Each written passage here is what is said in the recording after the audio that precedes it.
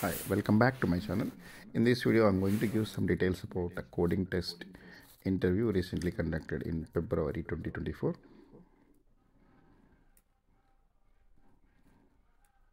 Yeah, here there's a print 1 to 10 with two threads, like a thread 1 prints 1 and thread 2 prints 2.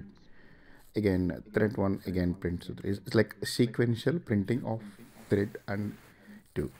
So first they will ask some questions about uh, threads. So if like mostly um, multi-threading, synchronization, what is notify, what is wait, so uh, how the threads can be implemented. So these are simple questions they want answered. But if based on that questions, so interviewer may choose this coding test in threads. Okay, let me open the Eclipse now.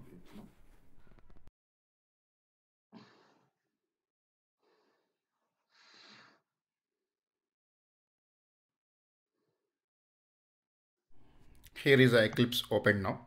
So during the coding interview, also they also ask some questions about uh, uh, uh, coding, like what is notify, what is wait, and how what is the synchronization, and in what way you can implement the threads.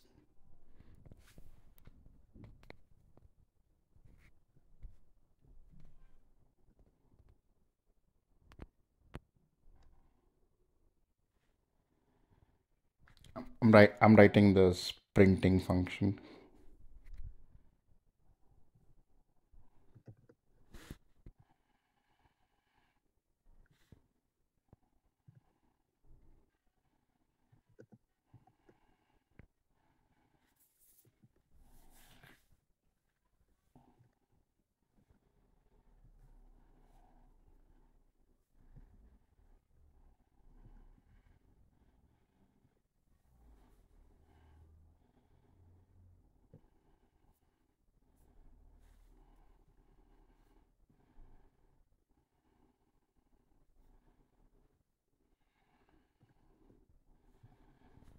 First, I'm writing print, printing function. Then, so it's the divider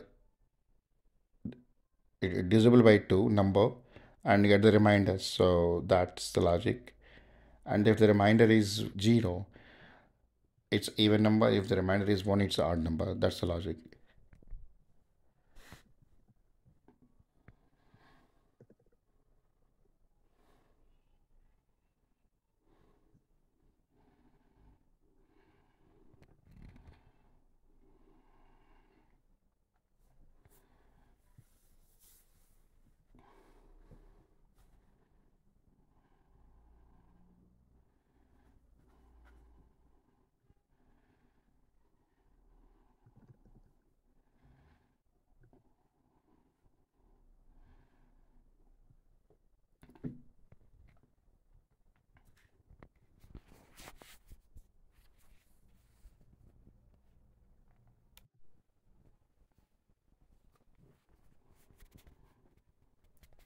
And also um, for a safe side i'm just keeping the name of the threads so that i'll pass the name from the main the name of the thread from the main so that i'm just equating with the thread name also. That's the extra check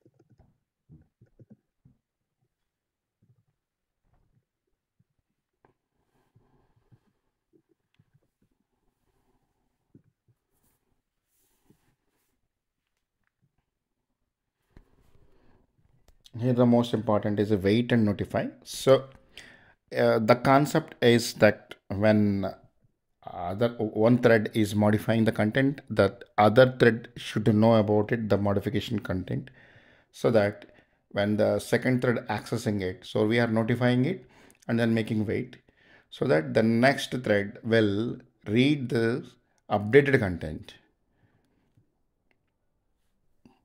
That's a main concept for notify and wait.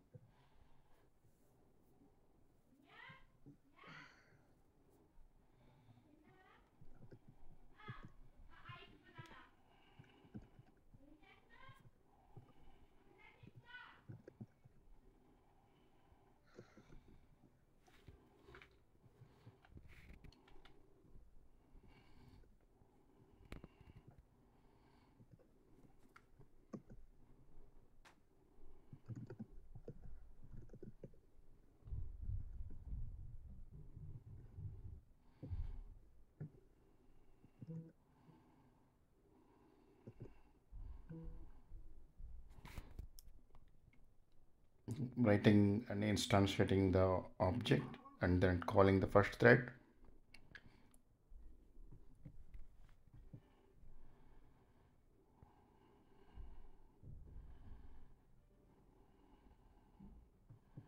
This looks like it's hang just a minute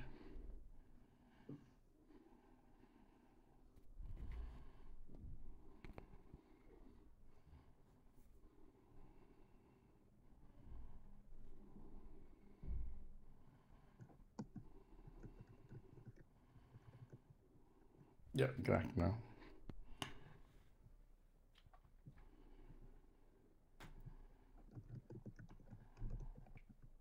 So making an anonymous clause and implementing runnable here. So, so yeah, this is public void run to be implemented.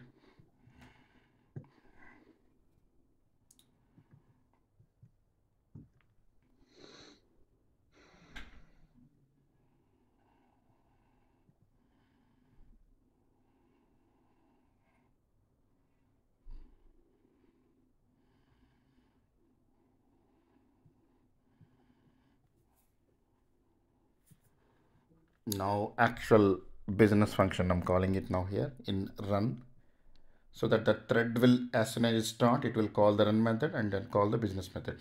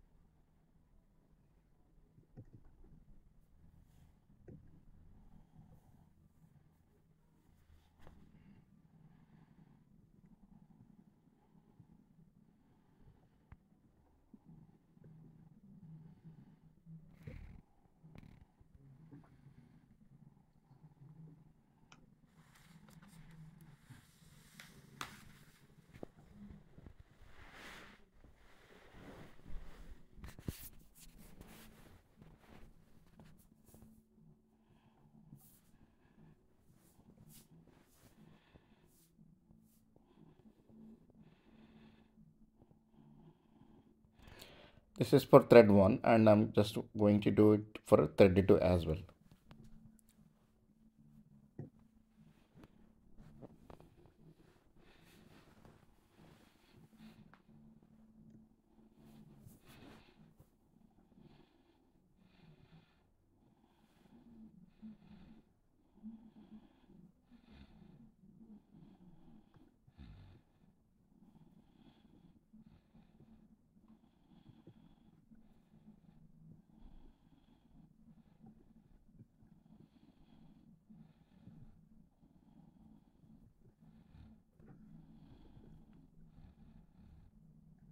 Now I'm setting the thread names here and then starting.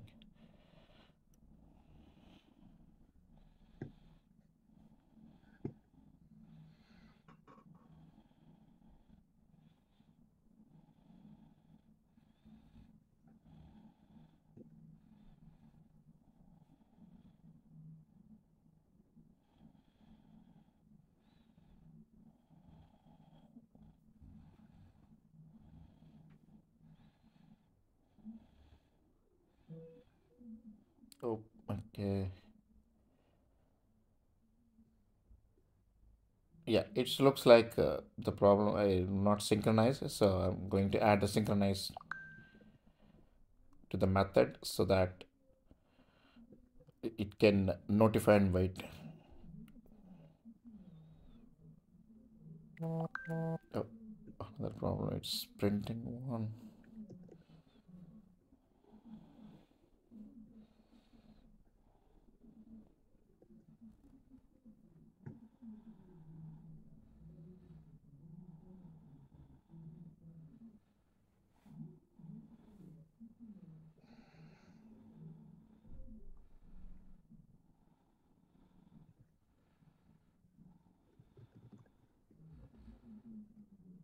Yeah, that's the problem with the loop. I just validated with condition, but you need to do the loop.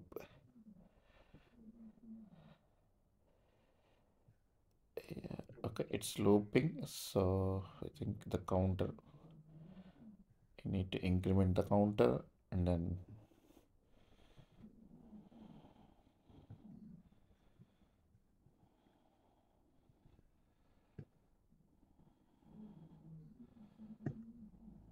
yeah, here it's printing now.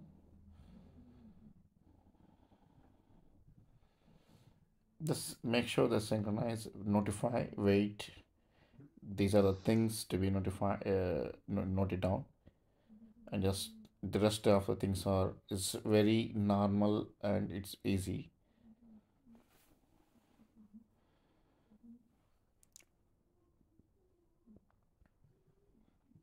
So created a two two threads, implemented run method, call the business method from the run method, set the names, and then start the threads.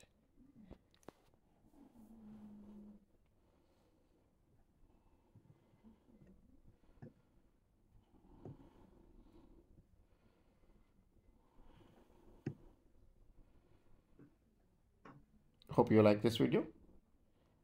Thanks for watching.